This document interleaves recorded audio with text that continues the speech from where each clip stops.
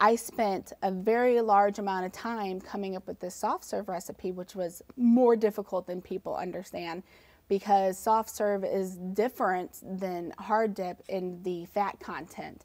If you put too much fat in there thinking that's going to taste really good, Right. which it would for a hard dip ice cream. Right. More fat, the better. Like, ooh, this is delicious. That's my motto. Right.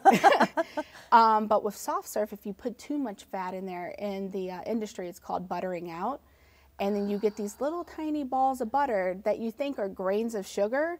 Oh, yeah. And it's like, why is this ice cream grainy? It's little tiny balls of butter that have been frozen in the soft serve Yeah. um, because they didn't get the butter content right. And that's why most soft serve nowadays not even considered ice cream because they can't get it because you have to have a 10% butter fat for it to be considered ice cream.